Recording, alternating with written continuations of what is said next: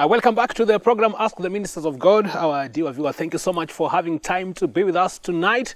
We are having a very uh, captivating conversation on the side the interrelationship between the mind, the soul, the heart, and even the spirit, and what they mean for you as a Christian. And helping us to go through this particular topic tonight, we are having Evangelist Paul on the set and also uh, Florence John. You can also catch us live on our social media platform, that is Facebook page, MBCI TV. Drop a comment or two, and we'll be glad to see also your reflections on our discussion tonight. Karibu sana as we continue uh, with our guest, Evangelist uh, Paul, and also Minister Florence John.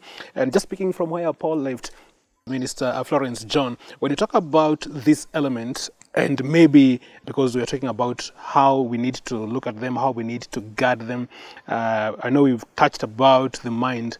Uh, looking at maybe the heart, uh, because this is also very, very important and one should also be in a position to guard it. There are those maybe who would want to say that maybe there is a way in which or another maybe their heart have been affected in terms of maybe even how they concentrate on their spiritual issues maybe what are some of the things that maybe one should be able to do to ensure that their heart is also in line with god's purpose Okay, I believe uh, we are talking of the not the pumping heart, Yeah, yeah. the organ. We are talking of uh, the the inner man, the soul itself. sure And uh, for this inner person to be in line with the Word of God, uh, with God, then you have to be a very prayerful person.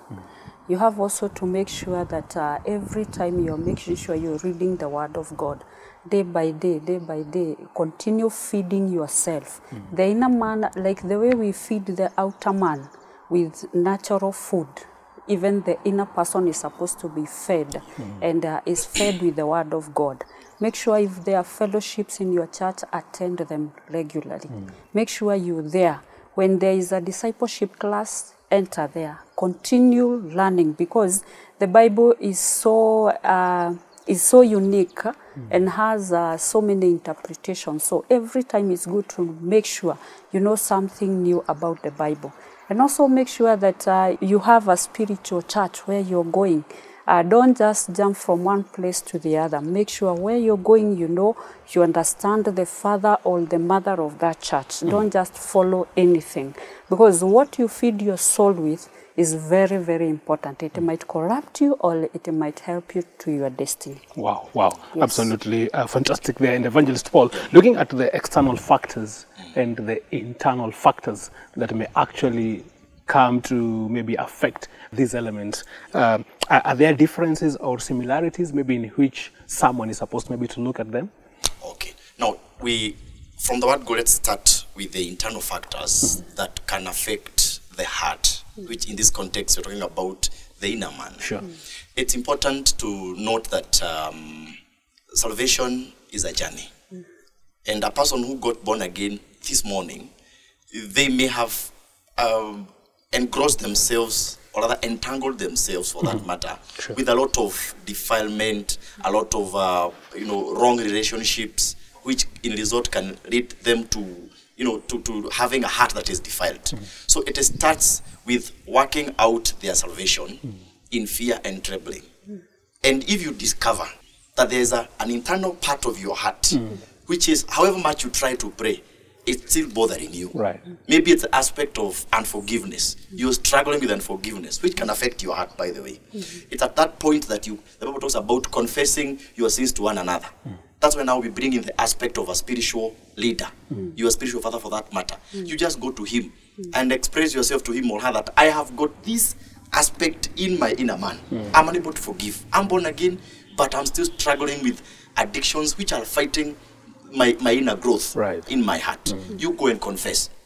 And uh, because it may be a deliverance issue, mm. it may be an issue that requires a person Okay. of a higher spiritual authority than you as a person. Mm. You just go, you confess, and then he is going to pray for you. Mm-hmm. And he'll begin walking with you in the path of dealing with those internal issues. Now, talking about external factors that may also affect your heart, there's the aspect of friends. Paul says, do not be deceived. Bad company ruins good morals. Okay. Mm.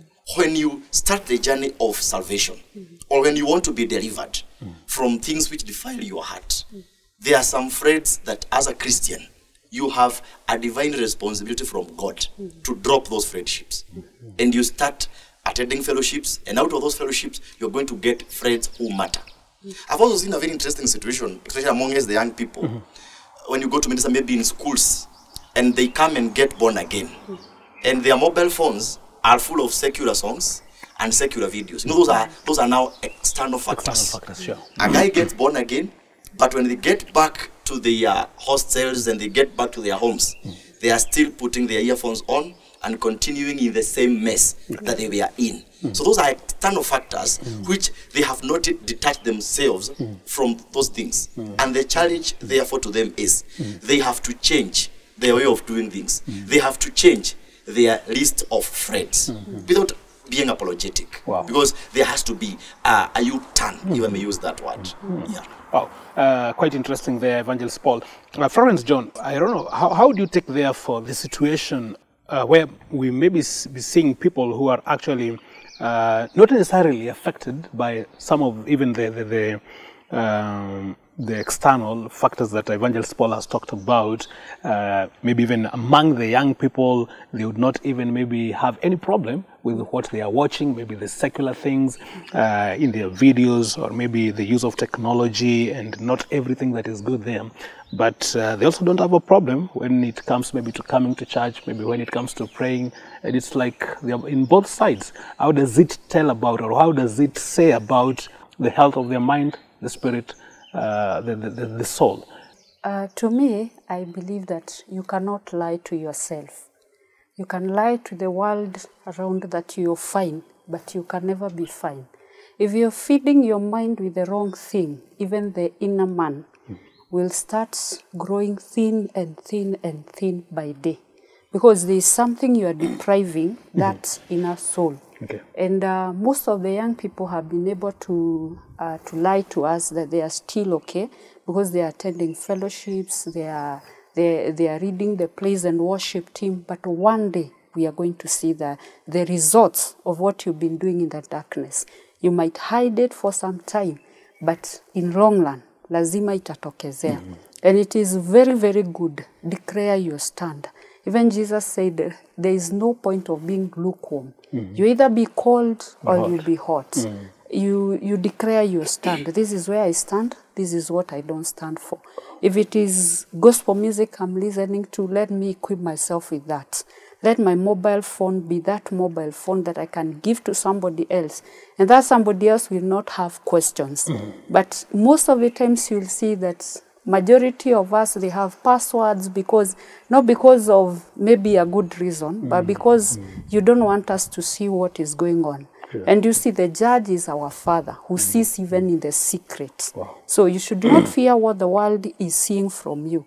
But what about god's report? What is god giving as your report? Sure, sure. So at the end of the day, Evangelist Paul, it is it, it is very important uh, uh, because most of those who would want to do this, it's like uh, maybe just a situation whereby they just want to please uh, man, but it's important, and yet they know very well that there is a problem.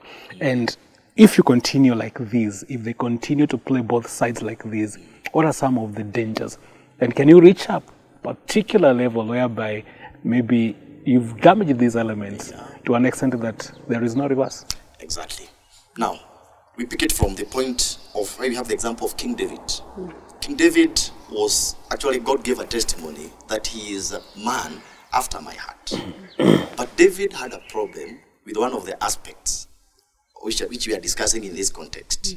A time came and David said, Search my heart, O Lord.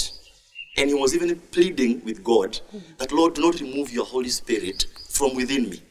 Some other part of Psalms he is saying, Purge my heart. In other words, cleanse me, O Lord. David understood critically that even though I'm a king, I may look like I'm very okay before the eyes of people whom I lead. Wow. And God has even given a testimony that I'm a man after his own heart. But there are still some parts of my heart, I as King David, which if I'm not careful, mm-hmm. I'll not make it to heaven. and he is therefore pouring out his heart. Mm. He is dealing with the aspect of hypocrisy, which many Christians have been unable to deal with, even in the church mm. today. Mm. And I thank God because of such a forum, because we are posing the challenge to them. Sure, sure. Because what happens, Mongishu, as time goes by, there reaches a point where your conscience kind of dies. It's the point of no return. You can go commit fornication if you are if you're a young man. You can go out there, get to adultery. You can even go out there, kill, and your conscience has no problem because you have totally and deliberately messed up with how God created you. And that is why you see there are still some people, they commit a sin today, Yeah. they repent, and God turns them to a totally different kind of person. Some of them even become men of God. But there are others who keep on getting born again today, tomorrow they have messed up. They get born again, it's a kind of a chain. And that one should sound a, a, a bell to them that they are almost getting to the verge whereby it's a point of no return because they are getting used. Familiarity is something which is very bad. Very bad. And as you continue to languish in sin, to entertain sacred sin, mm. you are in the process of weakening the systems of your mind, mm. the systems of your soul, and the systems of your spirit, which help you to connect with God the Father. Mm. Because you are getting used to Him. And it's therefore very important as a Christian to take caution. Don't be hypocritic. Work out your salvation in fear and trembling. Mm -hmm. Do not fear to pour out. I don't know if you have gone to churches and you see a very interesting situation whereby when people are given a prayer point, maybe to pray concerning their, to pray concerning material things, people literally pray. Mm -hmm. You give the same congregation a prayer point maybe of repentance, and guy just stare at you. mm. That one speaks volumes concerning our aspect of, you know, the heart is a forest. Yes. mm. It's difficult to know what is in my heart, mm. not unless God reveals it to you. Yes. You may never be able to know. mm. Maybe I may be talking with the two of you here, but perhaps I'm imagining wrong things mm -hmm. about the two of you. -hmm. And it therefore goes without that it is important to I as a person, however much I may be born again, it's important to keep on praying, Oh Lord, search my heart. Wow. There's even a song that says, Peleleza moyo wangu Bwana search my heart. If there be any aspect of hypocrisy, any aspect of familiarity, which may cause me to miss heaven, Lord, deal with it today and now. Wow. Yeah. Absolutely marvelous there. Thank you so much, Evangelist Paul. We are pressed for time, but uh, as we draw to the conclusion of our discussion tonight, Florence John, uh, for our viewer who is watching us tonight, and maybe they think surely uh, after they've had this particular discussion, they have seen they have had a problem uh, with how they've actually maybe uh, taken care of the elements that you're talking about tonight. What advice would you tell them? Okay, I would tell the, our viewers if you see there is any area of your life, maybe your mind, your soul, and uh, your body, there is a problem that is not aligning with the Word of God, go to your spiritual uh, man and uh, tell them, This is the point I want to change because we need that point that we are not living hypocritical lives because the Bible says that God is not mocked. Whatever a man soweth, he shall reap. So it is always important to make sure that you sow good seeds that can glorify our Father in heaven. Thank you so much, and uh, we appreciate it a lot. We want to wrap it up at that particular point. Thank you so much, our servants tonight, for helping us understand the interrelationship and the interconnection between the heart, the soul, the spirit, and even the mind. Uh, on set, we've been having Evangelist Paul. Thank you so much. It's been a pleasure having you tonight on Ask the Ministers of God program, and also Florence John. Also, thank you so much for making time to be with us. Thank you so much, also, our dear viewer, for following us and also for interacting with us on tonight's conversation. We really appreciate your feedback on the same. On behalf of the entire team that made this a success, my name is Mangi Chomola. Have yourself a blessed evening.